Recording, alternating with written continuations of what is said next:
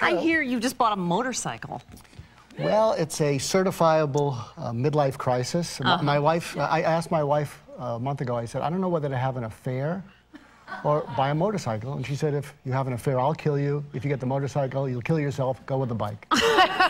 That's, a, that's healthy. That's a healthy relationship. Why don't you lean over, whisper your secret to me, folks at home.